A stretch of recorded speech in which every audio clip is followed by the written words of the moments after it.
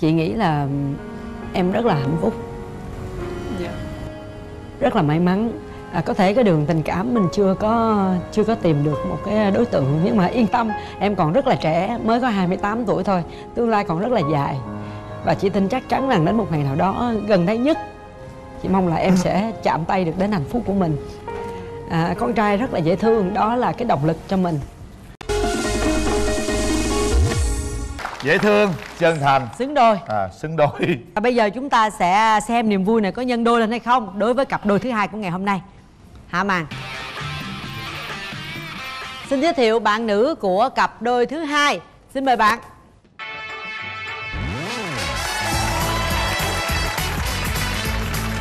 Dạ em chào quý vị khán giả em chào chị Cát Tường em chào anh Quyền Linh. Chào bạn. Bạn giới thiệu về mình bạn tên là gì? Dạ em tên Đào năm nay em 28 tuổi à, đào đang công tác ở đâu? Em ở nhà em buôn bán ẩm thực á chị. Quán ăn hay em ẩm thực hay dạ. Ừ, rồi bây giờ mình đợi bạn trai của mình ra nha. Mời bạn trai. Chào bạn. Chào anh Quyền Linh. Nhiều quà quá. Bạn tên gì? Dạ em là Lê Hoàng Vinh, năm nay em 37 tuổi. Bạn vinh làm nghề gì? Dạ em là tổ trưởng tổ bảo vệ ngân hàng Sacombank có thể giới thiệu sơ cho bạn nữ biết ờ, hiện nay cuộc sống như thế nào à, Em thì à, đã có một lần à, lập gia đình và đã ly hôn được à, gần 3 năm và đã có một cháu. Hiện tại đang ở với mẹ của cháu. Cháu lớn chưa? Dạ năm nay được 8 tuổi. Không. Rồi đó là sơ yếu của chàng trai bên đây. Còn cô gái thì sao? Đào mình có bao nhiêu mối tình rồi? Dạ em có một mối tình mà cũng đã kết hôn mà cũng đã gãy đổ.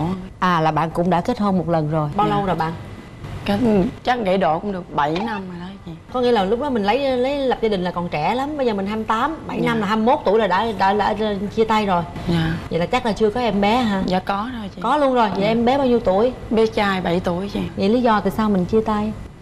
Anh gia trưởng với lại không biết quan tâm tới vợ con. Ừ. cứ đi ăn nhậu về là là à vợ con. Rồi à, bây giờ mình à, mình mong muốn à, tìm được một một nửa của mình hiện tại. Cái cái chuẩn như thế nào? Chỉ mong muốn cái ờ, cái người sau của em á là không gia trưởng đừng có keo cười kiệt với lại ờ, biết quan tâm chăm sóc gia đình với lại ờ, yêu thương mẹ con em. Ừ. những ưu điểm của bạn là gì?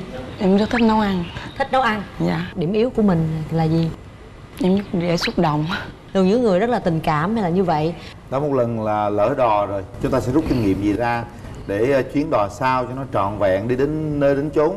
Ha, Em với bạn bên đó thì cũng đã có một lần đổ vỡ rồi. Nếu mà có duyên thì hai, hai người gặp nhau thì sẽ cùng nhau vun đắp hạnh phúc. Mỗi ngày nó sẽ tốt đẹp bạn hơn. cần- cần Dạ, người phụ nữ thế nào? cần phụ nữ ờ, hiền đảm đang biết tôn trọng người lớn và lo lắng cho gia đình. Từ ngoại hình?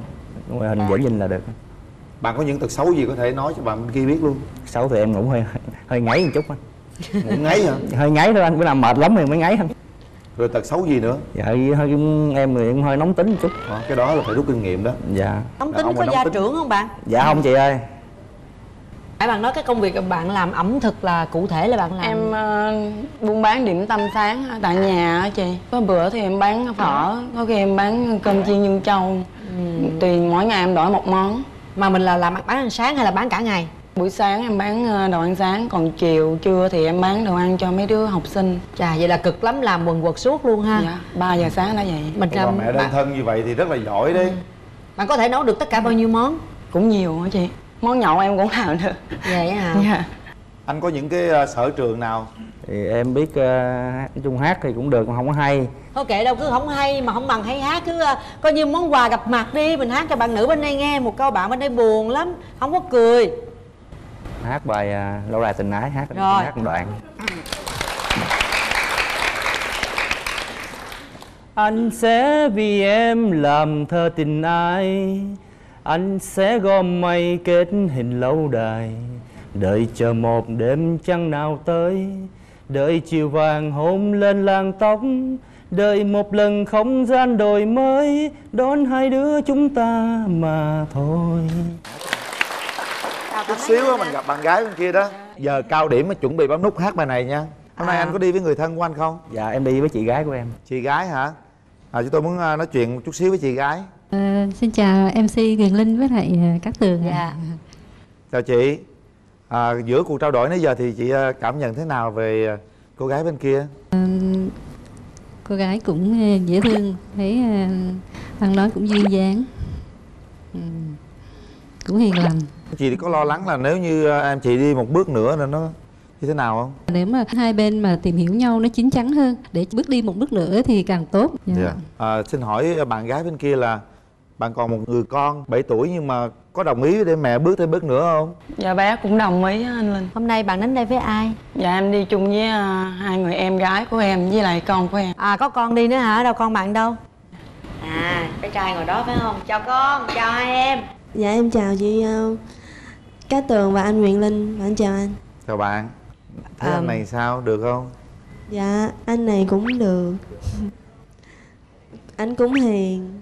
Anh hiền có đáp ứng cái ờ, những cái ờ, yêu cầu của chị em đưa ra được không? Dạ theo em nghĩ thì uh, anh cũng được 80% và điều cái cửa ải mà cái sẽ vượt qua được đó chính là con của chị ấy. Rồi chú linh hỏi con này con tên là gì? Long tên là long hả? Con học lớp mấy rồi? Lớp 2 con có muốn mẹ mình lấy chồng không? Dạ muốn. Nếu mà mẹ đi lấy chồng rồi con ở với ai? Ở với bà ngoại. Con nhìn chú này con thích không? Hết cảm ơn con. Chị nghĩ là em rất là hạnh phúc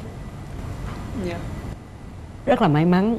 À, có thể cái đường tình cảm mình chưa có chưa có tìm được một cái đối tượng nhưng mà yên tâm em còn rất là trẻ mới có 28 tuổi thôi tương lai còn rất là dài.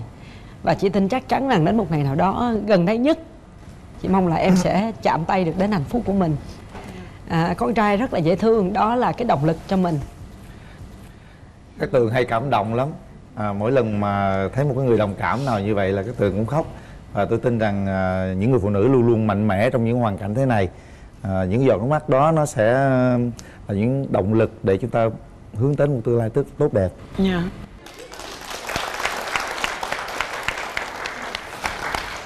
Hai em kia khóc rồi. À, Chị sẽ xem anh ấy nhưng mà chị không biết là bạn trai bên này có phù hợp với với, với em hay không Nhưng mà chị tin chắc chắn rằng à, em sẽ tìm được hạnh phúc cho mình. Dạ em cảm ơn nha chị. Cười lên, cười tươi lên. Có con trai rất là dễ thương em chào chị. Dạ chào anh. Em có món quà em gửi cho chị. À tưởng đâu tặng lộn người chứ. Cảm ơn anh. Gửi anh Quyền Linh. À, cảm ơn bạn nhiều nha. À, hồi nãy giờ là là cũng xúc động quá nên không muốn nói được gì nhiều. À, anh à, nếu mà bây giờ mà mình hợp nhau đó thì theo anh nghĩ thì bao nhiêu lâu mình có thể tiến tới hôn nhân trong được? vòng khoảng một năm á chị. Trong khoảng một năm. Bây giờ anh cũng có con rồi. À, bạn gái bên đây cũng có con rồi thì à, nếu như mình lấy nhau anh có muốn có thêm con nữa không? Dạ điều đó thì chắc chắn phải có chị. Chắc chắn phải có. Anh không ngại ta nói con anh con em con chúng ta vậy ta. Dạ không vậy nếu mà mình chấp nhận đến với nhau thì nói chung con thì con con qua cũng là con hết. Nãy con nó ở với ngoại nhưng mà à, bản thân tường không thích điều đó. Con phải đi theo mẹ phải có cha có mẹ. Anh có thể chăm lo được cho bé không? Dạ điều đó thì ờ, trong khả năng của em có thể chăm sóc được. Anh nói gì một câu với bé em nghe thử rồi mới làm mai được à, chú hứa ờ, thương con lo cho con trong ờ, thời gian sắp tới. Cảm ơn chú. Rồi cảm ơn anh. Rồi chúng ta kéo màn lên để hai người có thể gặp nhau và cùng à, chia sẻ với nhau. Anh và chị sẽ có 2 phút 2 phút bắt đầu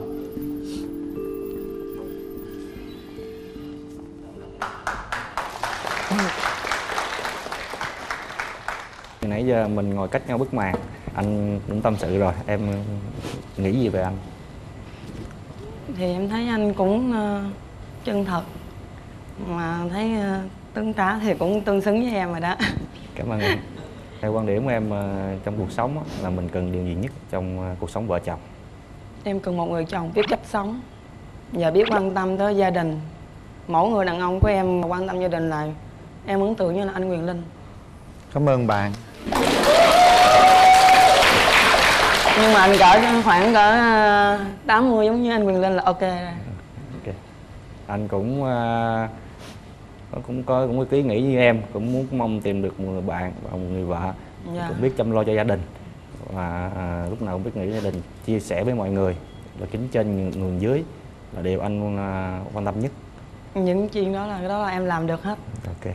Thì anh nghĩ với anh với em thì cũng có duyên gặp nhau ngày hôm nay thì mình sẽ có một cái cuộc hẹn hò Dạ. và sẽ cùng nhau vượt qua những cái thử thách mà nỗi đau mà anh với em phải gánh chịu trong thời gian qua. Dạ. Nãy anh Quyền Linh có nói á, là khi nào em với anh nhìn mặt nhau đó anh hát bài gì đó anh hát đi. Anh sẽ vì em làm thơ tình ai Anh sẽ gom mây kết hình lâu đài Đợi chờ một đêm trăng nào tới Đợi chiều vàng hôn lên làn tóc Đợi một lần không gian đổi mới, Đón hai đứa chúng ta mà thôi.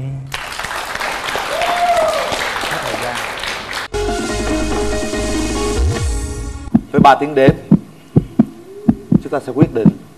Và tôi nghĩ rằng những giây phút này là giây phút hết sức là thiêng liêng với hai người. Để chọn người đi tiếp cái con đường của mình còn lại là điều quan trọng lắm. Suy nghĩ cho kỹ. Lâu đài tình ái có được xây hay không? Một.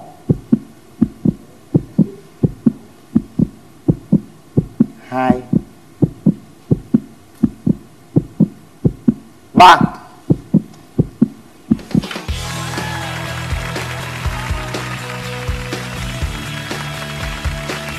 Chúng ta có thể nắm tay nhau để cảm nhận về nhau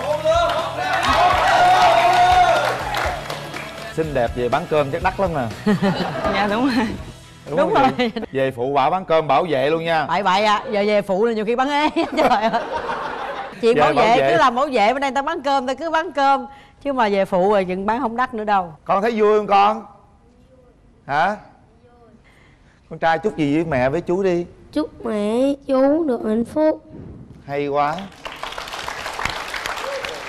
Một cặp vé xem phim tặng anh chị. Hy vọng rằng chúng ta sẽ có nhiều à, buổi xem phim để hiểu hơn về nhau. Chúc mừng anh chị chúc anh chị hạnh phúc. Đây là quà tặng ờ, xịt thơm miệng thảo dược relax tặng cho anh chị. Dạ, cảm ơn. Chương trình. Cảm ơn. Hãy nắm tay và đi xem phim